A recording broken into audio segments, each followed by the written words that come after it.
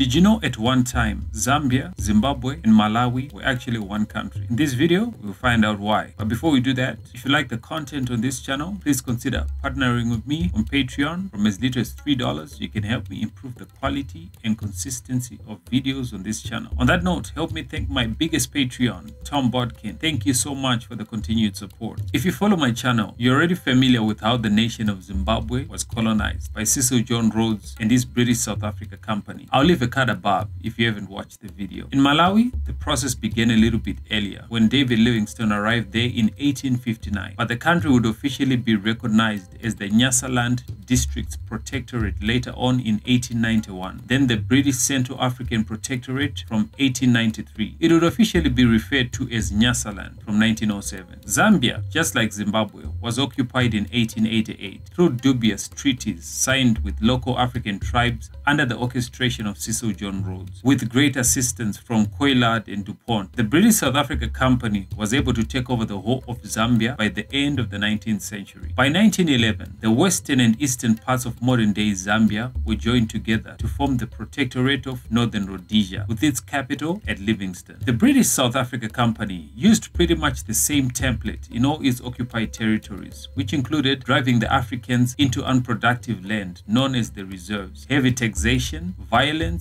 and forced labor. As a way to push Africans out of subsistence farming in northern Rhodesia, the British South Africa Company imposed a hut tax, which was payable only in cash. This obviously did not go down well with the locals, who would have their property destroyed as well as face imprisonment if and when they failed to pay. In Nyasaland, modern-day Malawi, similar revolts took place. For example, in January 1915, John Chilembwe, a millenarian pastor in southeastern Nyasaland, led an unsuccessful revolt known as the Chilembwe Uprising against British rule.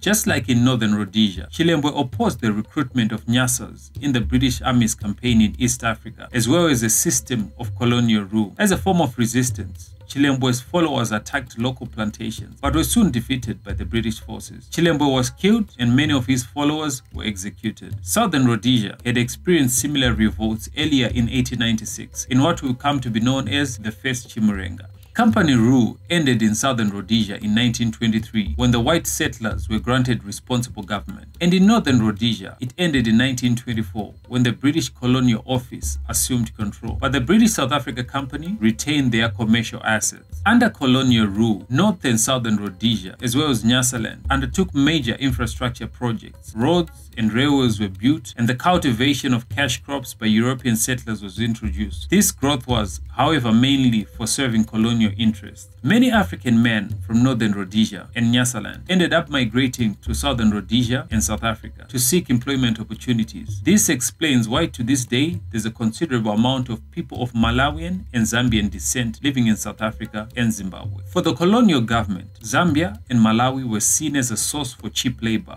and minerals. Many white folks preferred southern Rhodesia and South Africa. That is why to this day the European community in Malawi and Zambia is small. The capital city of Zambia was transferred to the more central Lusaka in 1935. A legislative council was established, of which five members were elected by the small European minority of only 4,000 people, but none by the African population. In 1928, enormous copper deposits were discovered in the region, which then became known as the Copper Belt, transforming northern Rhodesian from a prospective land of colonization for white farmers to a copper exporter. By 1938, the country produced 13% of the world's copper extraction. Working conditions for the Africans were very poor and risky. In addition to hefty taxes they had to pay, this culminated in the Copper Belt strike by African mine workers in 1935, which led to the killing of six mine workers by the authorities.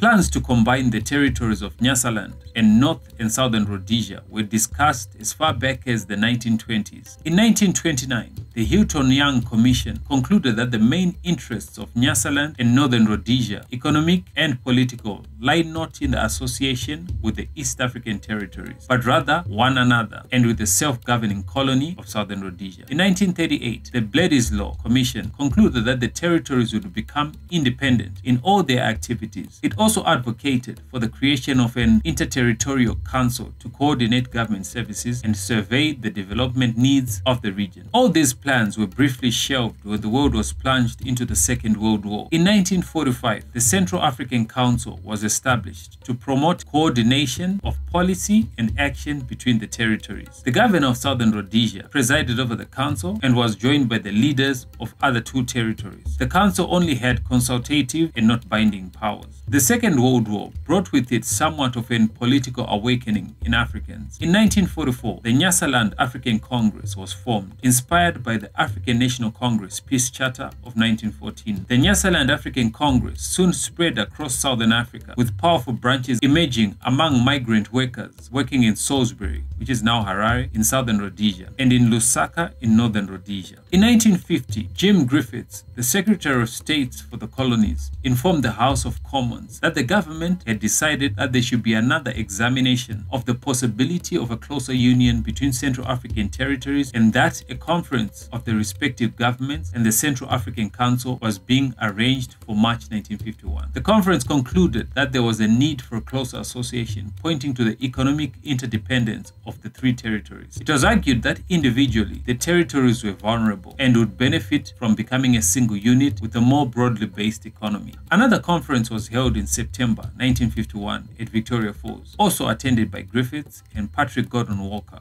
Another two conferences would be held in London in 1952 and in 1953, respectively, where the federal structure was prepared in detail. Southern Rhodesia proved to be the biggest impediment to the talks. Southern Rhodesia and Northern Territories had very different traditions for the native question and the roles they were designed to play in civil society. Basically, Southern Rhodesia was not ready to give Africans the sort of liberties that Africans up north were getting. Sir Andrew Cohen, Colonial Office Assistant Under Secretary for African Affairs, was instrumental behind the creation of the Federation, often resolving conflicts among parties. The House of Commons approved the conference's proposal on 24 March 19 1953 and in April passed motions in favor of federating the territories of Northern Rhodesia and Nyasaland. A referendum was held in Southern Rhodesia on the 9th of April. More than 25,000 white Southern Rhodesians voted in the referendum for a federal government versus nearly 15,000 against. Majority of Afrikaners and black Africans in all the three territories were resolutely against it. The federation came into being when the Parliament of the United Kingdom enacted the Rhodesia and Nyasaland Federation Act of 1953. It was commonly understood that Southern Rhodesia would be the dominant territory in the Federation, economically, electorally, and militarily. Scholars believe that the only reason why Southern Rhodesia joined the Federation was to have access to the vast copper deposits in Zambia. The Federation was a huge success economically, especially for Southern Rhodesia. During the Federation, huge projects like the building of the Kariba Dam was achieved. I'll leave a card above if you haven't watched my video on the history of Kariba. In the first year of the Federation, its GDP was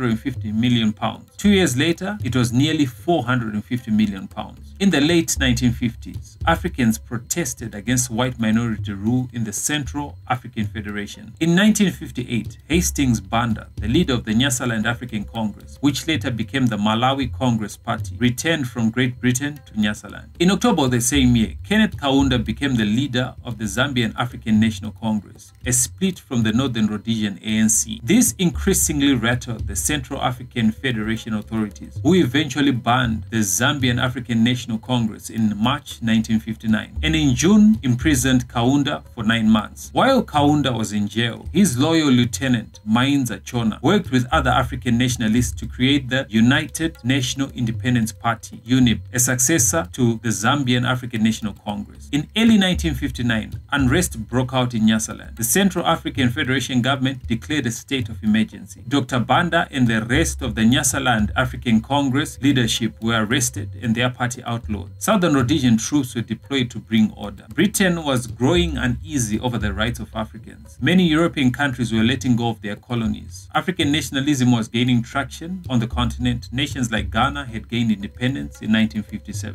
In 1963, the Victoria Falls Conference was held, partly as a last-ditch effort to save the Central African Federation and partly as a forum to dissolve it. After nearly collapsing several times, it ended on 5 July 1963 and the state was virtually dissolved. Only the appropriation of its assets remained as a formality. By 31 December, the Federation of Rhodesia in Nyasaland was formally dissolved and its assets distributed among the territorial governments. Southern Rhodesia obtained the vast majority of these, including the assets of the Federal Army to which it had overwhelmingly contributed. Earlier in the same year, in July 1964, the Nyasaland Protectorate became independent as Malawi, led by Hastings Banda. In October 1964, Northern Rhodesia gained independence as the Republic of Zambia, obtaining majority rule led by Kenneth Kaunda. Southern Rhodesia, on the other hand, was not ready to give power to the Africans. On the 11th of November 1965, Southern Rhodesia's government, led by Prime Minister Ian Smith, proclaimed the Unilateral Declaration of Independence, UDI, from the United Kingdom. This attracted the world's attention and created outrage in Britain. If that's a video you'd like me to work on, let me know in the comments below. That, in a nutshell, is how Zambia, Zimbabwe, and Malawi were at one time one country. See you in the next video.